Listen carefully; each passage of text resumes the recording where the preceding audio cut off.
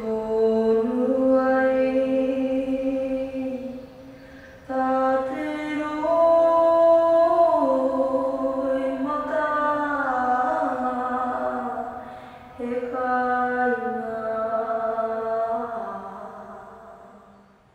It's the work that um, represented New Zealand at the Venice Biennale until November of last year.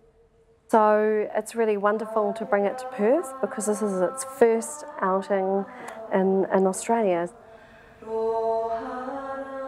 was kind of um, fascinating for me to watch the Biennale, kind of all these hundreds and hundreds and hundreds of people trying to bring their own significant artworks together, all to open at the same time and the same day um, in another country. It's set around this French scenic wallpaper called Les Sauvages de la Mer Pacifique. I'm of um, mixed descent, I'm Maori on my father's side and British on my mother, mother's side, I really wanted to look at these moments of um, first encounter, but I also wanted to show it um, from the, an Indigenous perspective.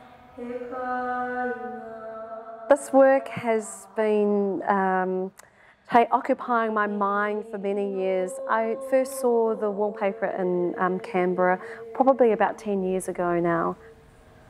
So it's been an amazing project to work on because I get to work with many, many people. Um, I work with my partner, James, who's um, an audio engineer and a musician. We found all sorts of different types of sounds that we could actually use.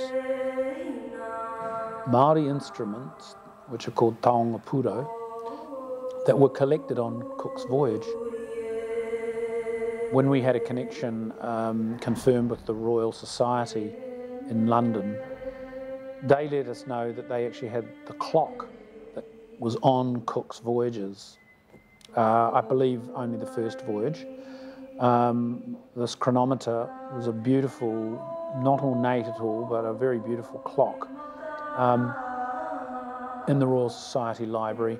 So I recorded the sound of that ticking, and then they asked Lisa if she would actually wind the clock. So we've got the sound of the clock being wound. Now, conceptually, I think this is a really brilliant um, you know, addition to the soundtrack because it actually transports you to the time through sound, uh, as do the Māori instruments. So there was a really lovely confluence there, in my opinion.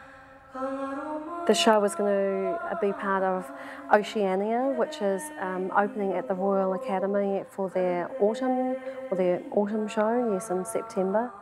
Being able to take this particular work back to the English, who sent Cook over in the first place, and um, it'll be really interesting to see what kind of um, questions and stories that come out of that relationship.